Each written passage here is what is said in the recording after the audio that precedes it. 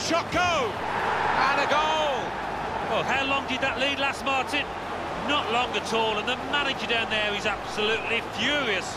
That's a terrific goal. Well, the goalkeeper did his very best, but I think he might have regrets that he didn't get hold of that.